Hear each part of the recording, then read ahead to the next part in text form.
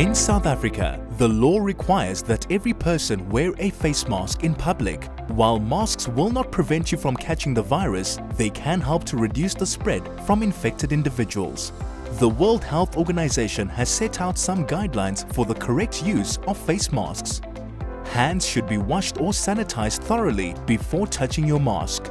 Ensure that the mask is not damaged in any way, as this could limit its effectiveness. Ensure the mask is the right way up.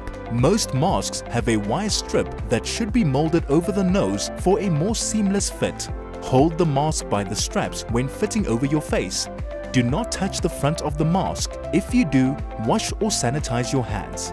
Remove the mask by unhooking or untying it from the back, avoiding contact with the front and keeping the mask away from your face discard the mask in a bin immediately or wash it with warm soapy water before the next use. Never reuse a disposable mask and always replace it if it becomes wet while wearing it. For more information, please visit the SA Coronavirus or World Health Organization websites.